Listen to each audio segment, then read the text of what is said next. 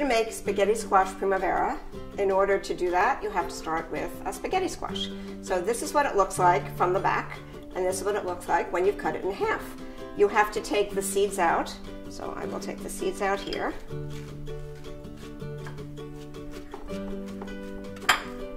And you can even see as you take the seeds out how the inside of the spaghetti squash sort of looks like strands, but they're not really edible at this moment. So seeds are out. Then I'm going to wrap it in plastic wrap.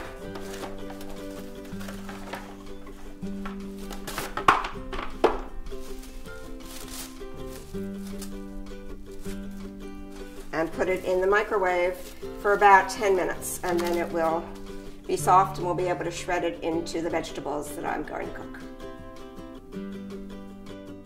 Okay, I'm adding olive oil to the pan, turning on the flame, and adding some minced garlic to the olive oil.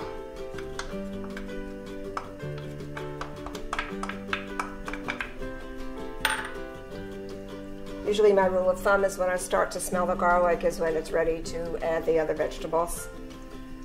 And it's also softened up a bit. Yum, really smells good. Okay, so for those of you don't, don't know, our primavera actually means spring.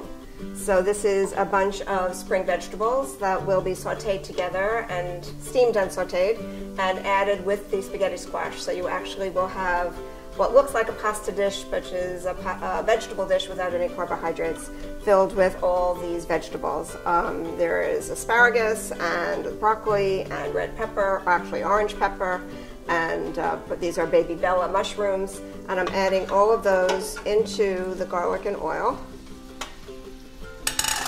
I've cut the asparagus into about two inch pieces uh, on the bias, meaning uh, diagonally. The broccoli also is cut into small pieces into the florets. I've gotten, you can use the stems for soup. Um, and all the mushrooms have been uh, quartered because they're sort of more meaty tasting instead of being sliced.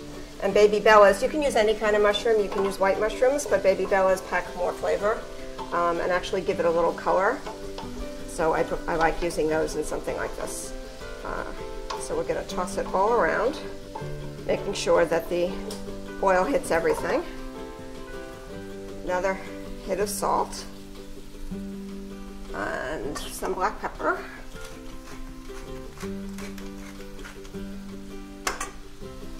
Stir again. You can already see how bright and green everything, how bright green and fresh everything looks. In order to make sure that the broccoli is cooked through, I like to steam it a little bit so I'm gonna turn the heat down a little lower, steam it for a couple of minutes before I add the rest of the vegetables, which is a zucchini, uh, both yellow and green zucchini. And I've cut them all into about the same size pieces and that way the uniformity allows all the vegetables to cook at the same time and you don't end up with some raw and some mushy and whatever. So choose your size and just do it all the same size. I prefer doing it the small way. There's about a quarter to a half an inch pieces. So after this is steamed, we add the rest of these vegetables. Here we go. And we add some chopped basil. And stir again. Keep stirring until the vegetables are basically crisp tender which means you can still bite them. You don't want it to be like baby food. And the spaghetti squash is soft when it's added to this. So I'm going to leave this cooking a little bit and go get my spaghetti squash out of the microwave and then shred it into the vegetables.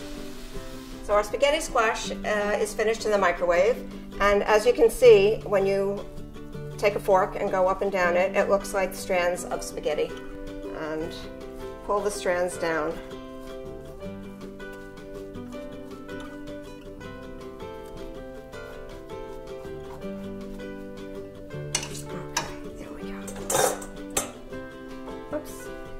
Take the spaghetti squash and mix it in with the vegetables